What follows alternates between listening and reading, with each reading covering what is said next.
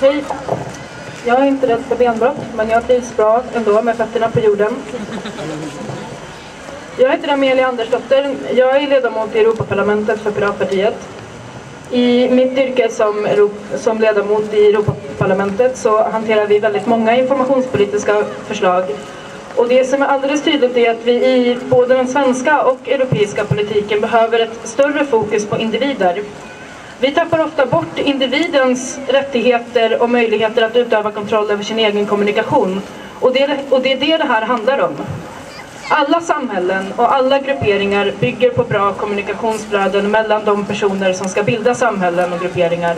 Vi behöver bra informationsflöden mellan eh, industrier, mellan företag och privatpersoner och mellan privatpersoner och myndigheter och mellan företag och myndigheter.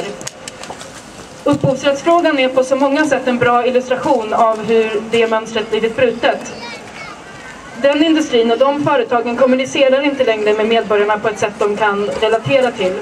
Och politikerna visar sig oförmögna att hantera, eh, hantera de här konflikterna mellan privatpersoner och företag på ett bra sätt. Oftast landar politikerna i en bedömning som ligger mycket närmare företagens preferenser än vad som kanske egentligen är nödvändigt det är någonting vi måste förändra på samhällsnivå. För vi kan inte ha ett konsekvent åsidosättande av individers möjligheter att skapa kontakter och vänner och bygga nätverk och samhällen med varandra. För då har vi inget samhälle kvar. Det måste vara det som är grunden för demokratin och grunden för vår gemensamma samvaro. Jag tror att man genom att engagera sig politiskt i ett parti som Piratpartiet kan bidra till att ändra det. För till syvende och sist så är det så att våra gemensamma samhällsregler sätts upp av, av politiken. Det är vi som sitter i folkvalda institutioner som skapar de gemensamma regelverk inom vilka vi alla måste röra oss.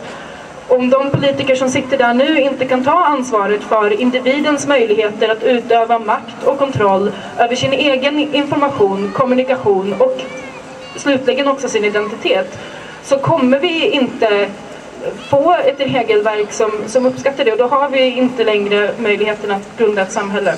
Så överväg och engagera er politiskt och för att förändra hur politikerna förhåller sig till det här. Vi behöver ett tydligare fokus på individers möjlighet att kontrollera sin egen information, sin egen identitet och göra det bästa av det tillsammans med andra. Tack!